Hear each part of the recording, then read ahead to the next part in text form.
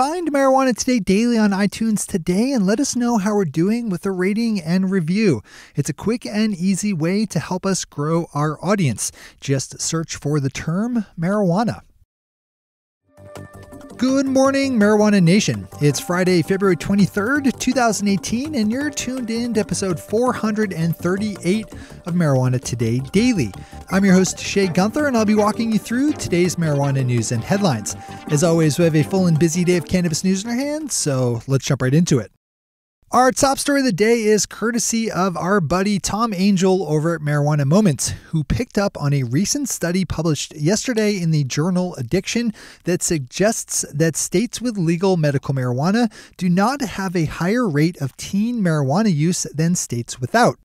The review study, led by researchers at Columbia University, looked at 11 previously published studies dealing with adolescent cannabis use and medical marijuana laws and found that teen usage rates in medical marijuana states stayed flat as those laws changed over to more progressive forms. One of the favorite go to arguments for prohibitionists is that marijuana legalization, even medical, will lead to skyrocketing teen usage rates. That study, as many others before have done, nicely puts another arrow into that line of thought. The Cannabist has a good piece up looking at the large amount of resources being expended by the alcohol giant Constellation Brands, best known for their Corona line of beer, into the legal marijuana industry. We've reported a lot on the storyline of Constellation spending $200 million Canadian to buy a large chunk of industry leader Canopy Growth Corporation, an investment that on Wednesday was explained as being part of a larger strategy to catch the early trend of cannabis drinks by the company's COO and president Bill Newlands, who presented to a group of investors in New York City. Although edible and drinkable marijuana products are not yet legal in Canada, most industry watchers, as well as the company itself, see that as a wall that will fall within the next few years. And when it does, Constellation plans on being ready to deploy. This is a good story to open up in full. As always, we have all the news we cover linked to on our website at mjtodaydaily.com and on our Twitter account at mjtodaydaily. Our final top story of the day is an update on a storyline that's been bouncing around our top picks all week, and that's the situation in Ohio, where a snafu over the scoring of marijuana cultivation applicants continues to roil the state's nascent industry.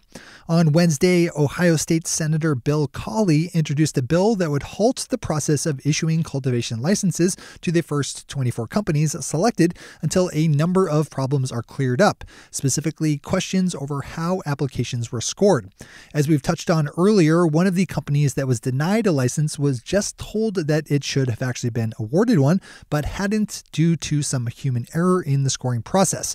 It's not clear yet how that dispute will be resolved after the state said they will not be stripping licensing from any of the 24 companies initially announced as winners. State Senator Coley's bill would force the halting of the process and give State Auditor David Yost 30 days to complete an audit of the process and then another 30 days to implement changes recommended from the audit. This is a dense one with plenty of backstory, so probably not a bad one to open up as well. Those are our top stories for today. It's time for Marijuana Today Daily Headlines Blitz. Before we blitz out on headlines, let's quickly thank our sponsor, MJ Today Media, publishers of this podcast, our weekly show, Marijuana Today, and our popular email newsletter, the MJ Today Media Newsfeed. Our advertising calendar for 2018 is filling up fast. So if you have a legal cannabis business that could benefit from reaching the best audience in the industry, you need to email advertising at mjtodaydaily.com to secure your place in line. You don't want to miss out on the best marketing opportunity in legal marijuana just because you acted too late. Our always strong traffic is even stronger now that California has joined the ranks of fully legal states. So there isn't a better time to sign up as a sponsor than today. Tomorrow might be too late. One last time, that's advertising at mjtodaymedia.com. All right, time for the blitz. The Oregon Liquor Control Commission just announced the results of their latest round of ID check sting operations on marijuana dispensaries. And while the results were better than the last round, there were still plenty of shops in the state that were happy to sell cannabis to someone without the proper ID. The OLCC sent teams into a total of 70 dispensaries this time and busted eight for failing to properly check the age of its agents.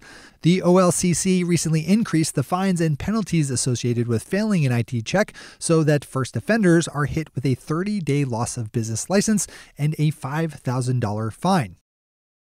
The Associated Press put together an interesting story about legal actions taken by the candy company Hershey's against legal marijuana companies it's accused of infringing on its trademarks. As legal cannabis continues to normalize and previously not so legal knockoff brands enter into fully legal markets, the holders of the trademarks those knockoff brands are imitating are increasingly coming a calling with legal papers in hand. We've reported on the case of the Gorilla Glue Company shutting down a cannabis strain company with the same name. This time it's Hershey's that went after Harborside Collective for selling Jolly Meds, a Jolly Rancher knockoff infused with cannabis. Harborside, which has a well earned reputation for not backing down from legal fights, sent their own lawyer into the fray and was able to get the candy company to back down. This is a good one to open up in full. One of the new features recently installed in the Las Vegas airport will allow out of state visitors the chance to toss their leftover legal cannabis into a so called amnesty box, which has been bolted down and secured to prevent thrifty Las Vegans from bin diving. No word on whose job it is to actually empty it. The New York Times is a great story up that looks at the life of one Virgil Grant, who has spent just under a decade of his life in prison for various marijuana crimes, and who, in the 80s and 90s, sold a lot of cannabis out of his Compton, California grocery store, including to customers like noted rappers Dr. Dre and Snoop Dogg.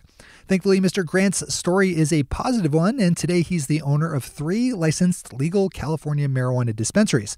While his hometown of Compton has imposed a moratorium on allowing legal cannabis shops from opening, Mr. Virgil said he's been hard at work to overturn that. Pop over to this one for the full dive in.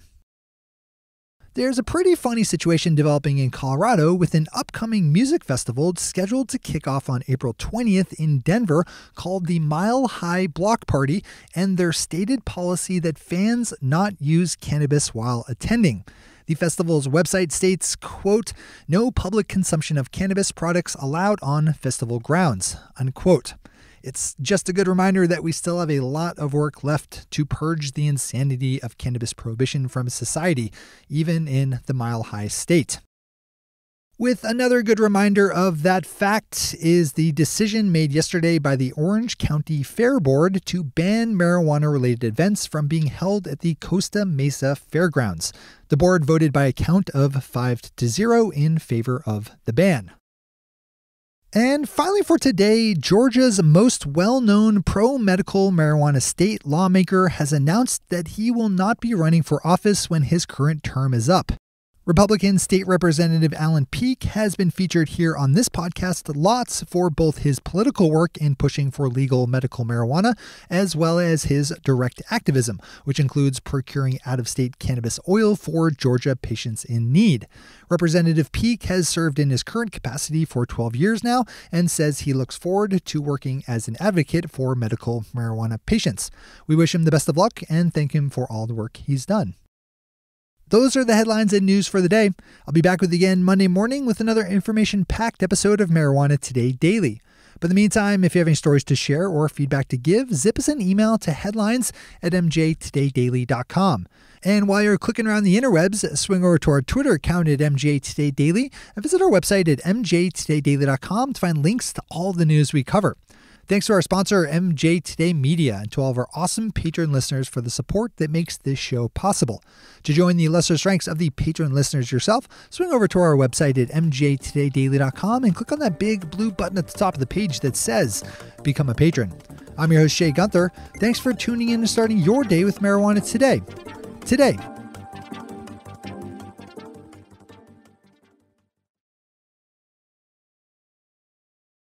One take, Shea. One take.